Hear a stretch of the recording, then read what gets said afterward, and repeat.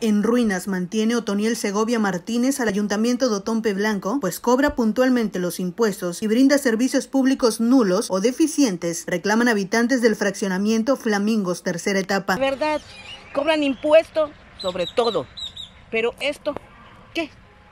El parque en, en montados, los terrenos baldíos de los millonarios, porque son de los ricos. ¿Qué pasa? A un pobre lo, lo truenan, al rico lo protegen. No hay vigilancia, no hay buena luz, se puede ver, puede checar en la noche y muchas lámparas están fundidas. Además de los predios baldíos llenos de basura y enmontados, los colonos de este asentamiento tienen que soportar el rebosamiento y pestilencia del drenaje. En total abandono, ¿dónde está el presidente municipal para ver todos estos problemas? ¿Es cierto? Sí, sí, ahí tiran basura, ahí se esconden maleantes. Entonces, to todo esto es un peligro para nosotros.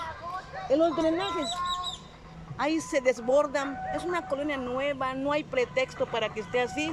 Afirman que el trabajo que ha emprendido la administración municipal que encabeza Segovia Martínez es indignante. Porque sí me indigna. Soy de Quintana Roo y cada día veo más destruido nuestro lugar. Para Notivisión, Rosy Dorado.